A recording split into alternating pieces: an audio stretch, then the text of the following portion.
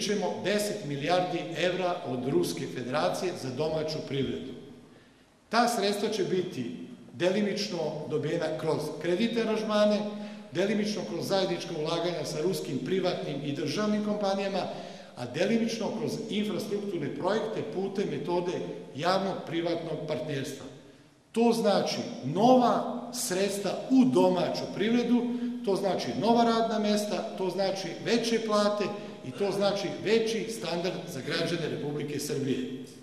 Ja nemam ništa protiv da neko drugi obezbedi ova sredstva iz Evropske unije, ali svi znamo da tih sredstava danas u Evropskoj uniji nema i da te pare jedino Srbija može da dobije iz Ruske federacije.